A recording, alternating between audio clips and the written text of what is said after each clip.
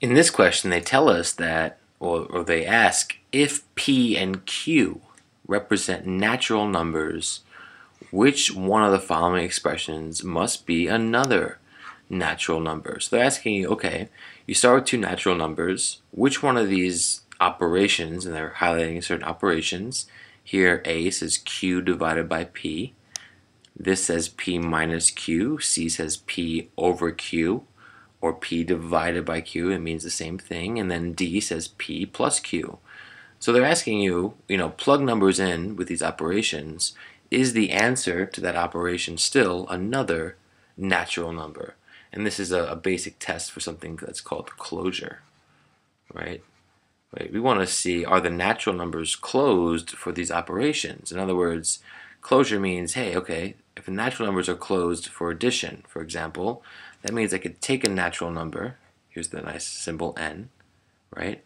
I could plug it into addition, throw it into that addition machine, and natural numbers are closed for addition if it always spits out another natural number. But if you put in a natural number and the operation here gives you a non-natural number, then the operation is not closed for that, right? In other words, it creates a new type of number by plugging it in through this operation or it has the potential of it. As long as it's possible using some operation to create a different type of number altogether, then it's not closed for that operation. Now before we go any further, let's briefly remind ourselves what are natural numbers? Well, they're also called counting numbers. You might have heard them called that. And typically the way they're defined is that they're whole numbers, but they start at 1, right? So basically the counting numbers are the whole numbers from 1 inclusive up right? No fractions, no decimals, and they just keep going. So zero is not a counting or natural number. So let's let's try this. And I, I, you know, it's okay just to if you're not feeling confident with a question like this, or if you're just wondering what's going to happen, set values for p and q. Assume it equals something, and then work with that. So I'm going to assume that p is two, and q is five, just for fun. So what about p plus q?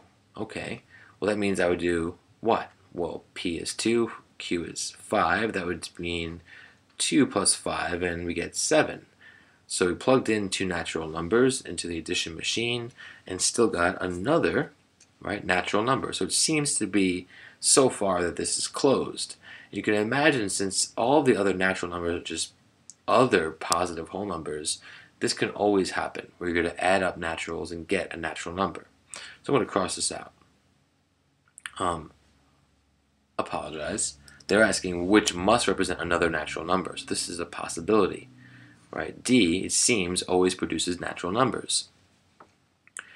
Um, let's stick with our same numbers here for the next choice. P over Q. That means take P, the number you've assigned for P, 2, and divide it by Q. Well, 2, 2 divided by 5 equals 2 fifths, which equals 0.4, and that's not a natural number. We chose two natural numbers, 2 and 5, plugged it into our operation, and got a non-natural number. So this is not closed for division. The natural numbers are not closed for division. You know, you can find an infinite number of pairs of, of natural numbers that divide to get fractions, right? 1 divided by 2, 2 divided by 3, 2 divided by 5, and so forth. Uh, you can just keep going with all these combinations. What about p minus q? Well, actually in our case, since we chose a p that's less than q, that would mean we end up doing 2 minus 5, and that's negative 3.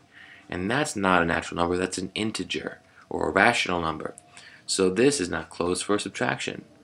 And again, here's another case of division. And it shouldn't matter the order we divide in, right? Because we don't know what q and p are. So by flipping the order from, from over here, which when we wrote p and q, should not change the result, but let's just test it out anyway. So Q is 5, P is 2, 5 divided by 2 is 2.5, or 2 and 1 half. That is not a natural number. So natural numbers are not closed for division or subtraction, but it seems that, right, that natural numbers are closed for addition because plug in any natural number and you're guaranteed to get another natural number. So we can say that yes, it's closed for addition. All right, thanks a lot.